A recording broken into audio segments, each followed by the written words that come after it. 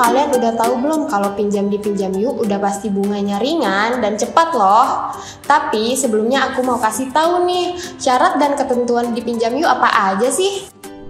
Syarat pengajuan pinjaman online di Pinjam Yuk, yang pertama, kalian itu harus berumur 17 tahun. Yang kedua, kalian harus memiliki penghasilan. Yang ketiga, cukup pakai KTP aja. Dan yang keempat, yaitu minimal pinjaman online di Pinjam Yuk 1 juta dan maksimal 25 juta. Nah, jika pinjamanmu telah berhasil, maka kamu dapat memilih tenor pinjamannya loh, yaitu 90 hari dan dapat dicicil. Gampang kan? Kalian gak perlu khawatir loh jika pengajuan pinjaman online di Pinjam Yuk udah pasti aman dan berizin OJK lagi.